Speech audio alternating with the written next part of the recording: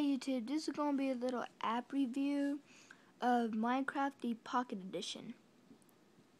It is $7.99, I mean $6.99 on the um, App Store, or you can get for free by jailbreaking the device. If you do not know how to do that, go check my channel out. But it's kind of basically like the computer, and but kind of better because you can play it wherever you go. Um, you got multiplayer, but you have to be connected to the same Wi-Fi with your friend. So yeah, you just pick your server and you you can copy his map, like whatever y'all build, you can copy it to your iPod or Droid or whatever you have.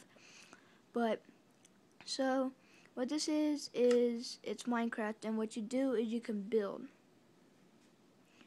You build things like this is creative mode, like as you see.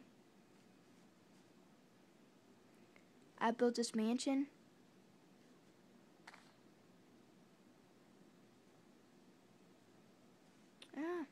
kind of hard doing this with one hand. But see, what creative mode is, you do not have health. You have all the materials. Um, you can fly, like I'm doing. You do not go hungry, and stuff like that. In survival mode,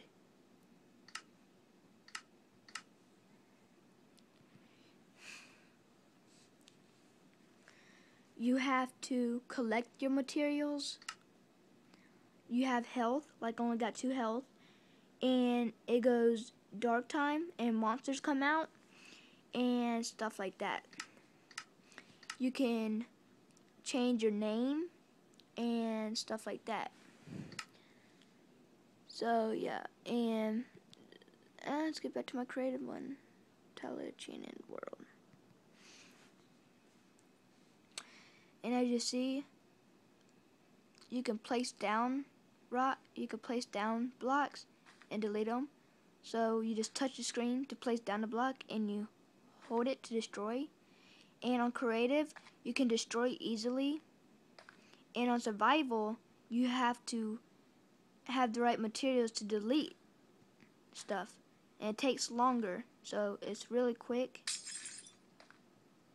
And as you see, this is ice. It's not, I say,